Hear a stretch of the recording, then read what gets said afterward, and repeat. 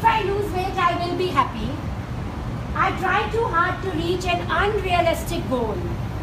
I lose a little weight, but then regain it and sometimes more. Right?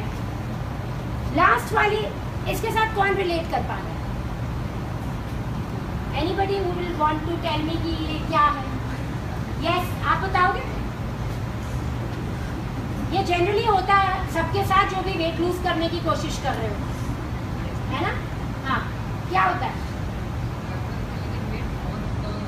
Exactly. तो put on क्यों हो जाता है wait क्या है, हमारी बॉडी में कुछ फैट सेल्स होते हैं हमारी बॉडी में कुछ फैट सेल्स होते हैं।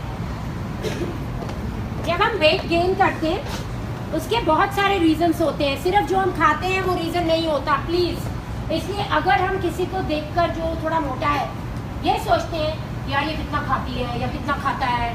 यार ये तो कोई एक्सरसाइज ही नहीं कर रहा होगा। या इसको तो कोई ख्याल ही नहीं है। सॉरी रॉन्ग हमारी बॉडी में हाँ अगर हम एक्स्ट्रा खाते हैं और उतना बर्न आउट नहीं करते तो वेट गेन होता है।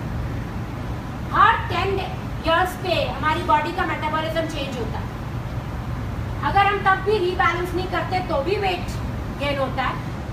हार्मोन्स अगर हमारी बॉडी में हार्मोन्स ठीक से फ़ंक्शन नहीं कर रहे होते तो भी वेट गेन होता है। जेनेटिक जेनेटिक रीजन से भी वेट गेन होता है। अगर फैमिली में लोग मोटे हैं जनरली यू विल सी की बच्चे भी थोड़े मोटे होंगे। आप फैमिली को देख के बता सकते हो कि उनके घर में कैसा खाना पीना होगा और क्या जेनेटिक होगा। Because most of the times what I जो बहुत मोटे लोग आते हैं फाइनली हमारे पास you know when you want to lose weight and you are ready to spend money for it मतलब तुम सब कुछ ट्राई कर चुके हो। ठीक है? तो जनरली क्या होता है, वो कुछ भी नहीं खा रहे होते। पर फिर भी उनका वेट बढ़ता आता है। क्यों? जेनेटिक हार्मोन्स एनवायरमेंट सो होता क्या है? हमारी बॉडी में ऐसे फैट सेल्स होते हैं छोटे छोटे ठीक है?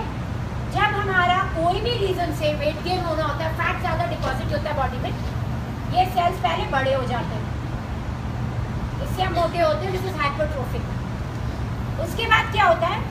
ये सेल्स बड़े हो जाते हैं और इसके साथ सेल्स का नंबर भी बढ़ने लग जाता है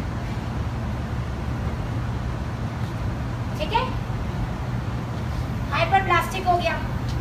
अब जब हम वेट लूज करते हैं, ये साइज़ तो कम हो जाता है। पर नंबर जितना बढ़ चुका है, नहीं कम होता। इसीलिए कहते हैं, जो बचपन में बच्चे मोटे होते हैं, वो बड़े होके ओबेसिटी के चांसेस उनमें बहुत ज़्यादा होते हैं। इसलिए आजकल चाइल्डहुड ओबेसिटी पे बहुत फोकस हो रहा है। ठीक है? बिकॉज़ वेरी हाई प्रोबेबिलिटी कि वो बड़े होकर भी बिज़ी रहेंगे। अब ये इतने बढ़ गए। सेल्स बढ़ने में जो टाइम लगता है, वो ज़्यादा लगता है। ऑलरेडी ये इसमें से जैसे ही थोड़ा सा फैट आपने एक्स्ट्रा बना ये फिर बड़े हो जाने उसके ठीक है?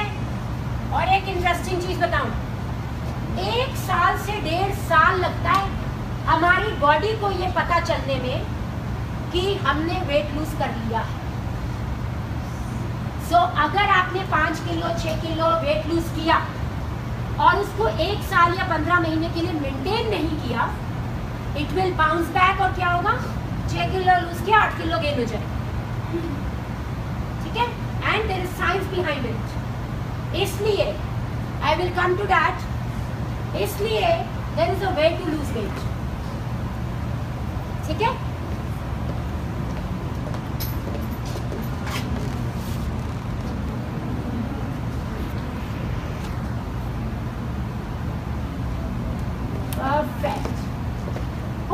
This for me. Will you read it? Yourself.